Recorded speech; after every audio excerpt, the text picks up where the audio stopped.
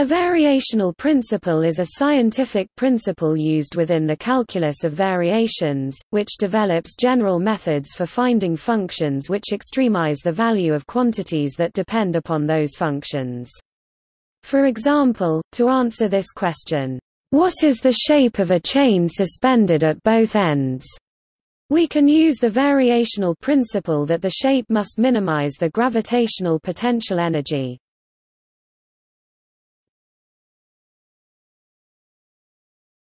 Topic Overview Any physical law which can be expressed as a variational principle describes a self-adjoint operator. These expressions are also called Hermitian. Such an expression describes an invariant under a Hermitian transformation.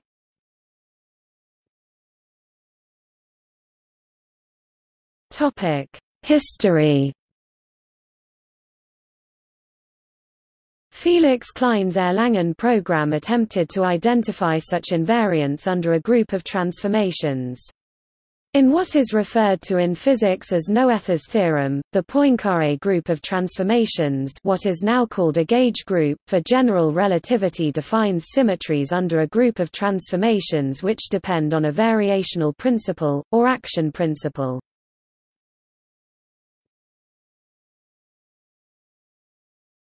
Topic: Action principle.